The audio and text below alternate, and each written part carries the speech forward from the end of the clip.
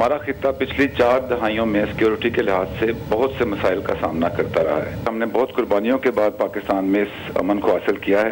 लेकिन prime minister of Pakistan also and army chief भी ये बात कर चुके हैं कि हम अपनी सरजमीन जो है वो किसी के खिलाफ इस्तेमाल होने की इजाज़त नहीं देंगे। पाकिस्तान खत्ते में अमन खराब करने वाले किसी अमल का हिस्सा नहीं बनेगा। D G I S P R का वाज ऐलान, ये भी वाजे कर दिया। पाकिस्तान की ज़मीन किसी के खिलाफ इस्तेमाल होने की इजाज़त नहीं देंगे। मेजर जनरल आसिफ गफूर ने बताया कि आर्मी चीफ ने अमरीकी वज़ीर खारजा पर भी वाजे किया कि किसी भी तनाज़े के हल के लिए बातचीत की जानी चाहिए। ईरान किसी हमले का सोचे भी नहीं। अमरीकी फौजियों पर हमला हुआ तो बावन मुकाम तबाह कर देंगे। सदर ट्रंप ने धमकी दे दी। ट्वीट में लिखा, नए फौजी साजो सामान पर अरबों डॉलर खर्च किए हैं। इन हथियारों को ईरान पर इस्तेमाल किया जाएगा।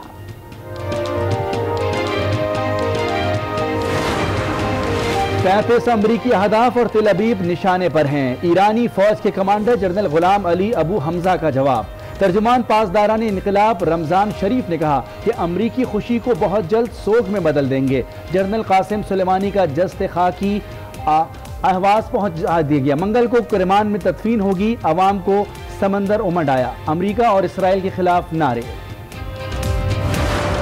के मुख्तलिफ़ इलाकों में एहतजाज। मुजाहरीन ने अमरीका और इसराइल के खिलाफ रैलियाँ भी निकाली। रैली के शिरका के अमरीका और ट्रंप के खिलाफ नारे। काउंसिल को इसका वादा याद दिलाता है। वजी अजम इमरान खान का पैगाम भारत जम्मू कश्मीर पर काबिज है। वादी को दुनिया की सबसे बड़ी जेल बना दिया गया है।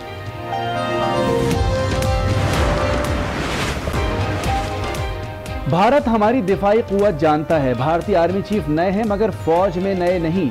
तर्जुमान पाक फौज का रद्द अमल। साफ़ कह दिया, अमन चाहते हैं, मगर खुद मुख्तारी पर समझौता नहीं करेंगे।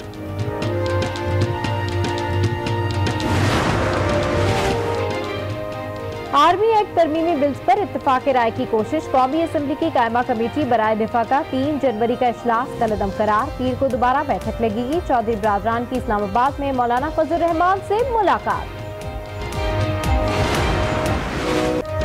इंसानियत की खिदमत ही सबसे बड़ा मकसद है। लाहौर में दो नौजवानों ने सिविल चैरिटी दुकान खोल। ली गरीबों को मुफ़्त लिबास और खाना भी दिया जाता है।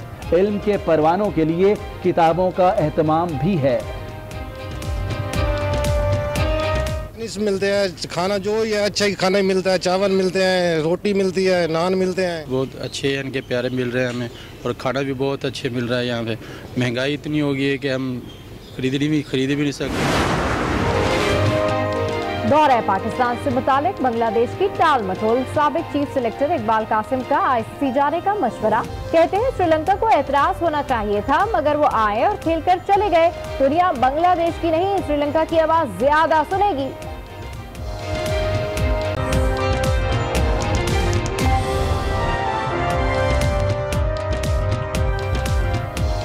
असलकुम आज छह बजे के बुलेटिन के साथ मैं हूँ सबाशी और मैं हूँ मोनिस रजा। हेडलाइंस आपने मुलाजा की। बुलेटिन का आगाज़ करेंगे। पाकिस्तान खत्ते में अमन खराब करने वाले किसी अमल का हिस्सा नहीं बनेगा।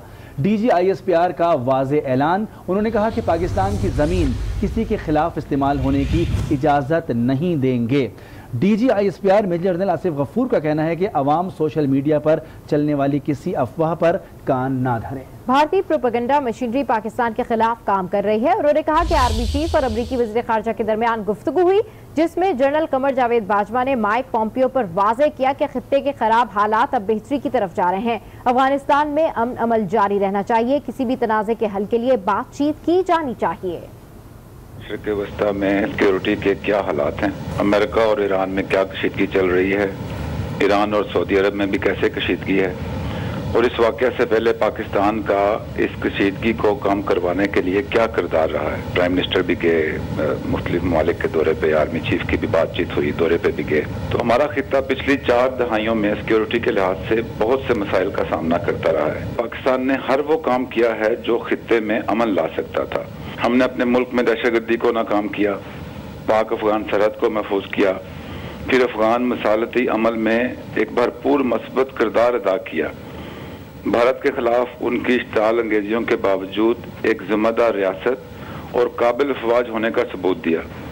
तो इन हालात में खत्े के किसी भी मुल्क के रेफरेंस से कोई भी कशीदगी हम ये समझते हैं कि खत्े में अमन की कोशिशों के खिलाफ है। माइक पोम्पियो की आर्मी चीफ से बातचीत हुई तो आर्मी चीफ ने बुनियादी तौर पर दो बातें उनसे की। पहली, कि खत्ता बहुत ख़राब हालात से बेहतरी की तरफ़ जा रहा है। इस बेहतरी के लिए अफगान मसालती अमल का कामयाब होना बहुत ज़रूरी है। दूसरी बात, खत्े के मुख्तलिफ़ ममालिक में कशीदगी जो है वो कम होना चाहिए। आर्मी चीफ ने ये बात उनसे की। इस सिलसिले में तमाम मुतल ममालिक को तमीरी तर्ज अमल और डायलॉग से आगे बढ़ना चाहिए। पाकिस्तान इस सिलसिले में तमाम पुरमन कोशिशों की तायद करेगा। मेरी आवाम से और मीडिया से दरख्वास्त होगी कि सिर्फ़ ऑथेंटिक सोर्स की बातचीत पर तवज्जो दें। इस प्रोपेगेंडा मुहिम में जो मुल्क दुश्मन नासिर की अफवाहें हैं, उस पर तोज्जो ना दें और इस अफवाहों को फैलाने में भारत जो है वो लीड करदार अदा कर रहा है। मैं फिर कहूँगा कि हमने बहुत कुर्बानियों के बाद पाकिस्तान में इस अमन को हासिल किया है। हम खत्े में अमन के लिए भरपूर अदा करेंगे करदार अदा करेंगे और इस अमन के खराब होने वाले किसी अमल का हिस्सा नहीं बनेंगे। और अब बात ईरान अमरीका तनाज़े की ट्रंप ने खबरदार किया है कि अगर ईरान ने किसी अमरीकी शहरी या तनसीब को निशाना बनाया तो ईरान के बावन मकाम को निशाना बनाया जाएगा। जिनमें ईरान के सकाफती मकाम भी शामिल होंगे। ट्रंप ने कहा कि तेहरान ने हमला किया तो ईरान के खिलाफ जदीद तरीन हथियारों को इस्तेमाल किया जाएगा। ईरान से इजहार एकजहती के लिए पाकिस्तान में भी रैलियाँ निकाली जा रही है। कराची में इमामिया स्टूडेंट्स ऑर्गेनाइजेशन की जानब से मुर्दाबाद अमरीका रैली निकाली जा रही है जो इस वक्त नेती जेटी के पुल पर पहुँच चुकी है और यहाँ से अमेरिकन कौंसल खाने की तरफ़ जाएगी। इस हवाले से मजीद तफसलत जानते हैं। आज उसके नुमाइंदे फैजान जलीस से। जी फैजान, इस वक्त वहाँ क्या सूरत हाल है और रैली के हवाले से अपडेट कीजिए।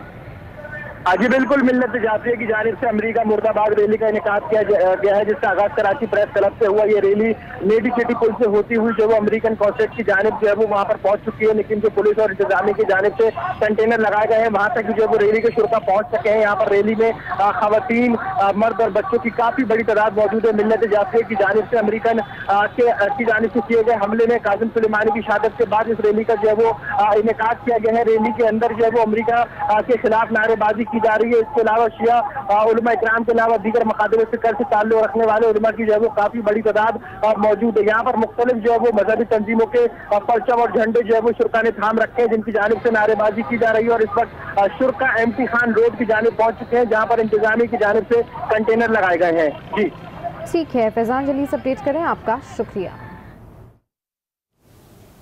मजहबी रहनुमा शहनशाह हुसैन नकवी कहते हैं कि अमरीका ने ईरानी कमांडर जनरल कासिम सुलेमानी को मारकर बड़ा जुल्म किया। सरजमीन पाकिस्तान को ईरान के खिलाफ कार्रवाई के लिए इस्तेमाल नहीं होने देंगे।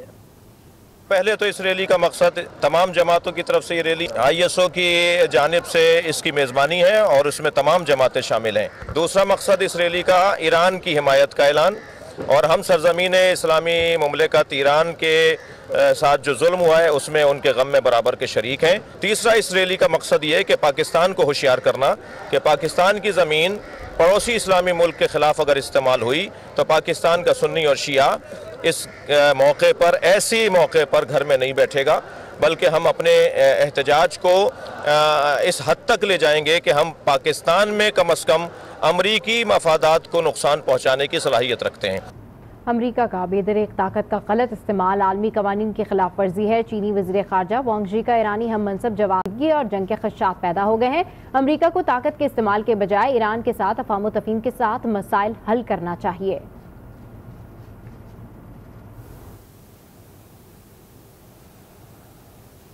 और अब आपको बताएँ तर्जुमान पाक फौज का कहना है कि नए भारतीय आर्मी चीफ पाकिस्तान के मुखालिफ बयान देकर अपनी जगह बनाने की कोशिश कर रहे हैं। एम एम नरवाइन ने नए फौजी सरबरा ज़रूर हैं, लेकिन भारतीय फ़ौज में पुराने हैं। उन्हें पाकिस्तानी अफवाज की सलाहियतों का अच्छी तरह अंदाज़ा होगा और हमें यकीन है कि वो किसी मुहिम जोई की कोशिश नहीं करेंगे।